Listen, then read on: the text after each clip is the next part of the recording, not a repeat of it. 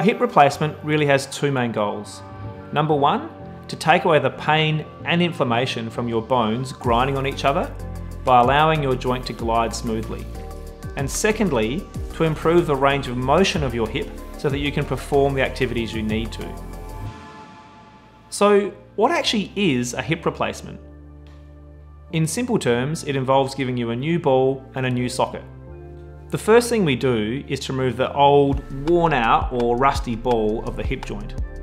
Now this does require a surgeon to make a cut through the bone with a small saw. We remove the ball and also a few millimetres of bone from what we call the neck of the hip joint. That's this bone in here.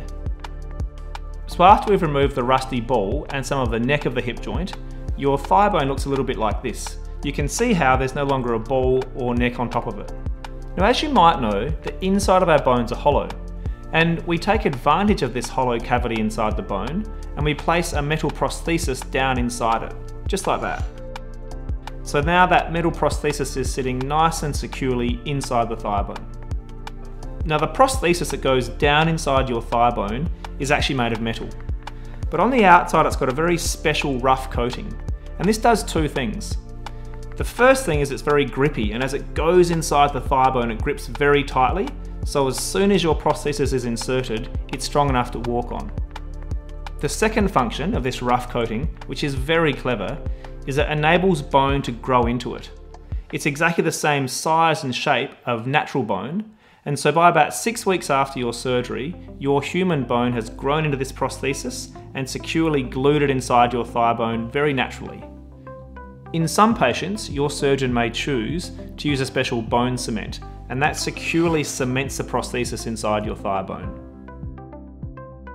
So now the prosthesis is securely fixed inside the thigh bone. The next thing we do is place a very smooth, beautiful round ball on top of the prosthesis like that, and it fits securely in place. And this becomes the new ball of your ball and socket joint. Now this particular ball is made of ceramic, but they can also be made of metal. So now we've taken away your old rusty arthritic ball and given you a nice shiny brand new one. Now the socket of your hip joint, which we call the acetabulum, is located up here inside your pelvis. So the next part of the procedure involves inserting this metal prosthetic socket into the arthritic socket of your pelvis. Now this artificial socket is made of a similar metal as your thigh bone prosthesis. It also has the same rough coating on the outside that is very grippy and that makes it stick inside your pelvis as soon as we place it there. Your bone will also grow into this prosthesis and naturally heal it in place by about six weeks.